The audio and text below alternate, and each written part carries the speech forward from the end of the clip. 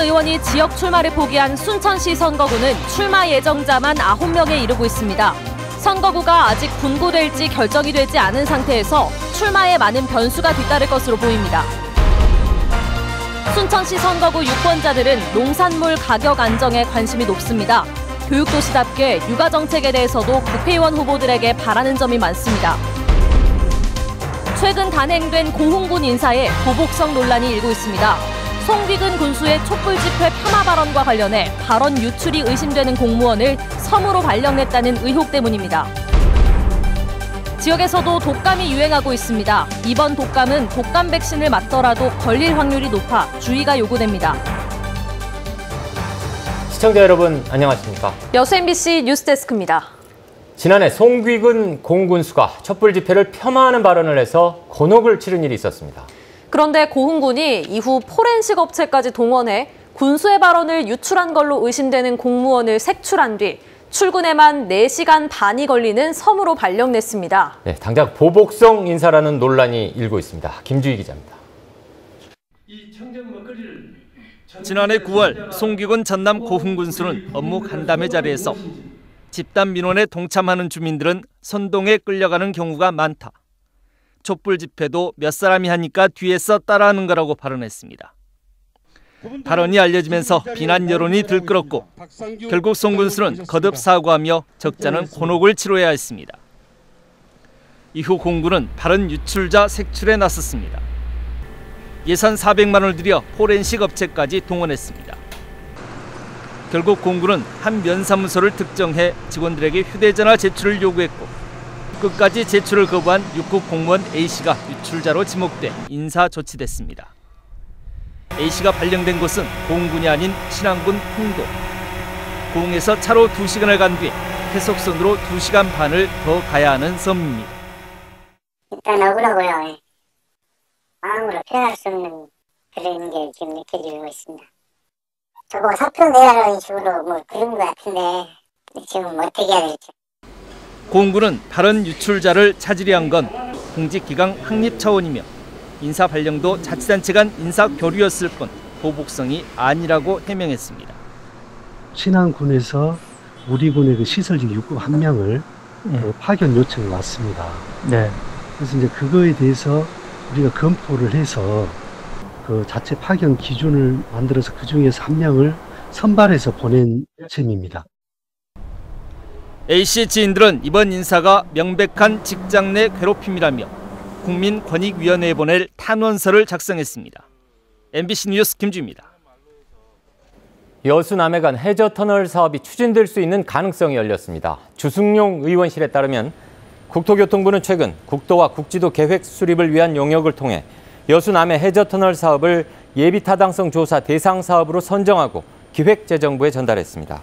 기재부는 선정된 사업들을 대상으로 올 한 해 동안 예비 타당성 조사를 거쳐 연말쯤 5개년 계획을 수립해 발표할 예정입니다. 여수 남해간 해저터널 사업은 양 지역을 길이 7.3km, 폭 4차로의 해저터널로 연결하는 사업으로 총 사업비는 6,300억 원 규모로 추산됩니다. 지난해 순천과 광양의 인구는 늘어난 반면 여수와 고흥은 줄어든 것으로 조사됐습니다. 행정안전부 주민등록 인구 통계에 따르면 지난해 말 기준 순천 인구는 27만 9,500명, 광양 인구는 15만 6,700여 명으로 2018년 말보다 각각 209명과 186명이 늘었으며 여수 인구는 28만 2,700여 명, 공 인구는 6만 4,900여 명으로 각각 514명과 864명이 줄었습니다. 그러나 연말 연초마다 순천과 광양을 중심으로 인구 증감에 따른 지역 간 갈등 양상이 반복돼 근본적인 해결 방안이 필요하다는 지적도 꾸준히 제기되고 있습니다.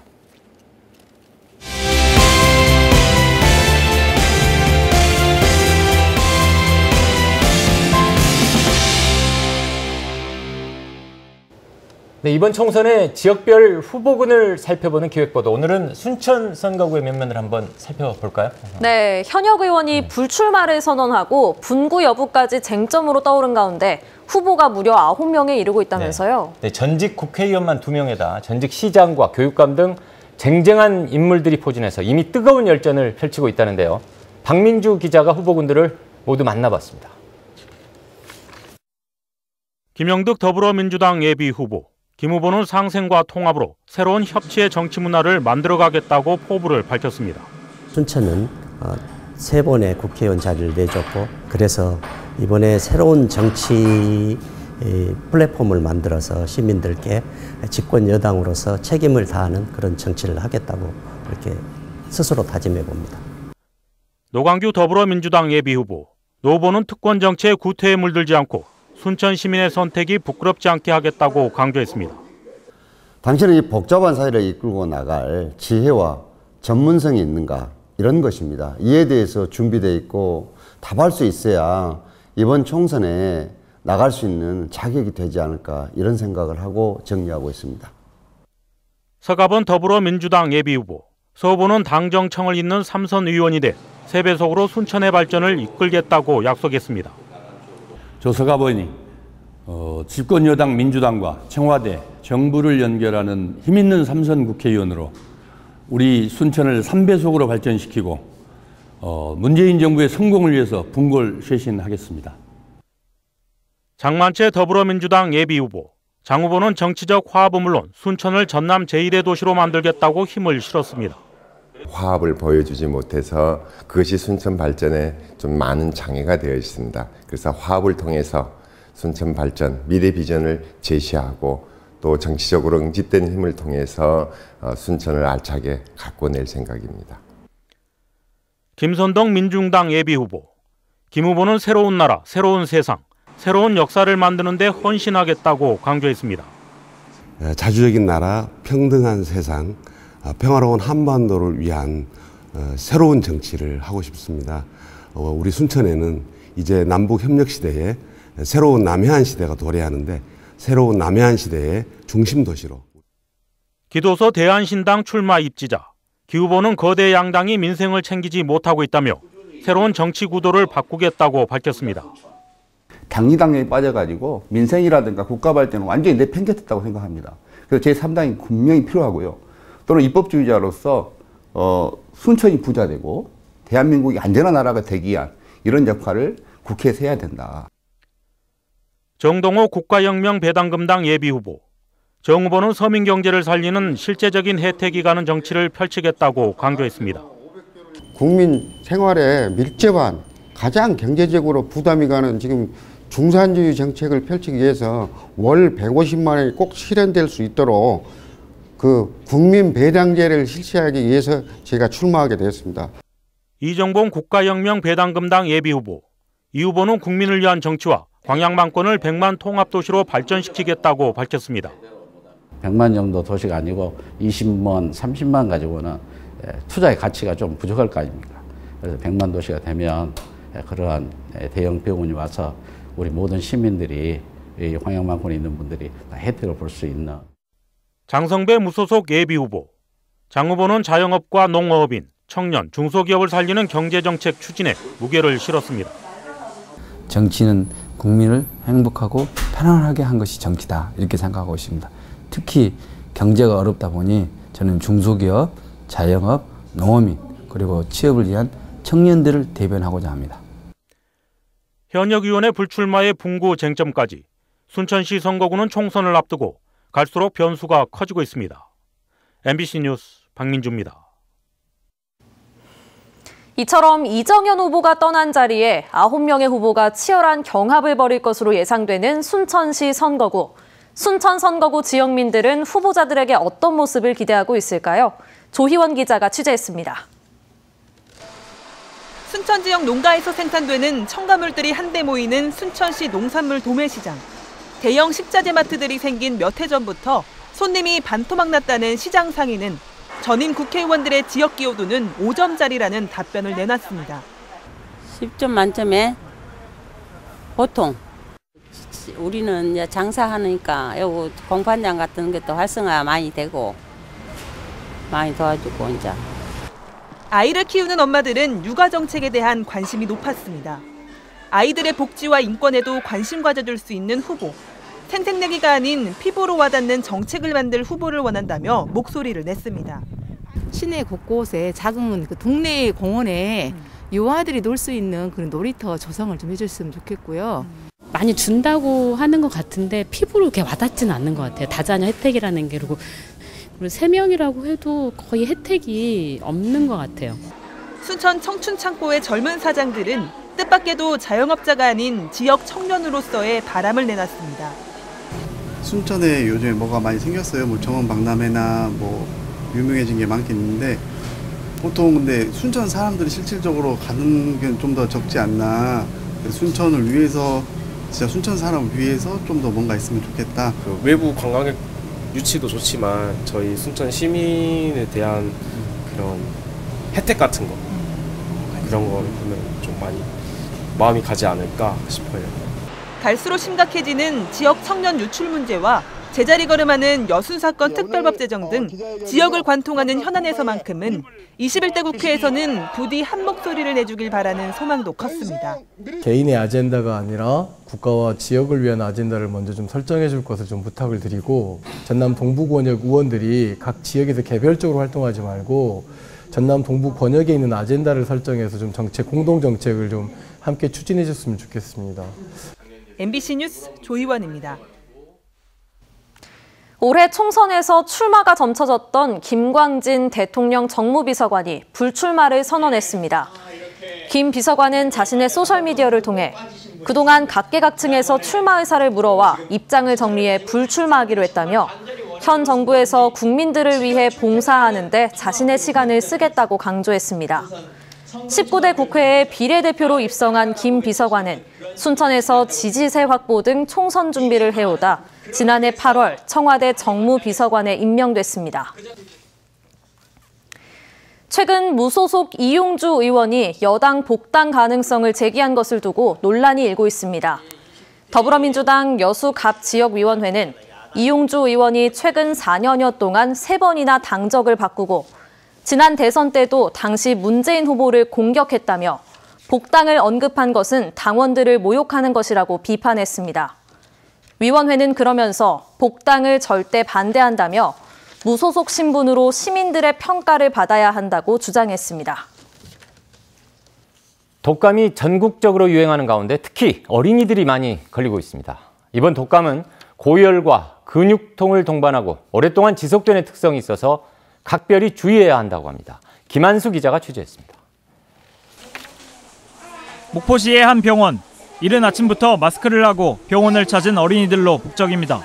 최근 이 병원에 독감으로 입원한 환자는 전체 병실의 절반 이상을 차지합니다. 이제 두 달 전에 예방 접종 마치긴 마쳤는데 열이 안 떨어져 가면 내일 독감 검사를 다시 한번 해보려고 하고 있습니다.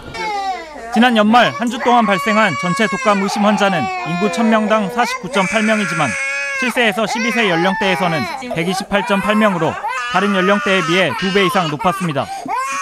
최근 유행하는 A형 독감은 38.5도가 넘는 고열이 지속되며 근육통 등을 동반하고 있습니다. 전문가들은 소아 청소년들은 다른 연령대에 비해 또래와 접촉이 많고 백신을 맞았더라도 10명 가운데 2명은 독감에 걸린다며 각별한 주의를 당부했습니다. 더 기온이 낮아지면서 아이들이 이렇게 학교나 이런 데서 만나게 되면 봄방학이나 이런 걸 끝나고 나서 만나게 되면은 B타입 유행할 가능성이 굉장히 높습니다. 보건당국은 손 씻기든 개인위생을 철저히 하고 독감이 5월까지 유행할 수 있다며 예방접종을 안 한 경우 지금이라도 해야 한다고 조언했습니다. MBC 뉴스 김한수입니다. 어제 오후부터 시작된 강풍 피해를 막기 위해 해경이 관할 해역 안전사고 예방 조치를 강화하고 나섰습니다. 여수해양경찰서는 전남 동부 해역에 최대 풍속이 초속 16m에 이르는 강한 바람이 불어 내일까지 위험 예보제 상중 하중 중간 단계에 해당하는 주의보 단계를 발령했습니다. 해경은 조업 선박의 대피를 유도하고 항내 선박 결박 상태를 확인하는 한편 방파제와 갯바위 등 위험 지역을 중심으로 순찰을 강화할 계획입니다.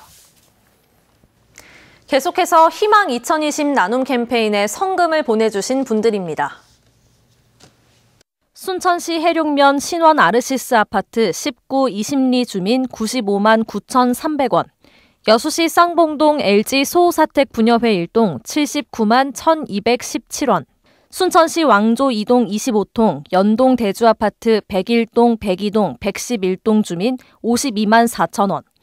여수 웅천중학교 학부모회 50만 원, 고흥군 도하면 동호치마을 주민 50만 원, 순천시 왕조 2동 27통, 연동 대주아파트 106동에서 110동 주민 48만 7천 원, 26통 연동 대주아파트 103동에서 105동 주민 43만 4천 원, 여수시 둔덕동 한려아파트 14통 주민 44만 7,600원, 고흥군 도화면 당곤마을 주민 30만 원, 봉산마을 주민 30만 원, 여수시 쌍봉동 원 장성마을 주민 30만 원, 둔덕동 신원 아르시스 아파트 주민 및 관리사무소 직원 30만 원, 한려 아파트 13통 주민 26만 원, 만덕동 시티프라디움 입주자 대표회의 24만 원, 고흥군 도하면 이목동 마을 주민 21만 원, 순천시 서면 학구마을 주민 20만 원, 여수시 둔덕동 용수마을 주민 20만 원, 묘도동 읍동마을 주민 20만 원,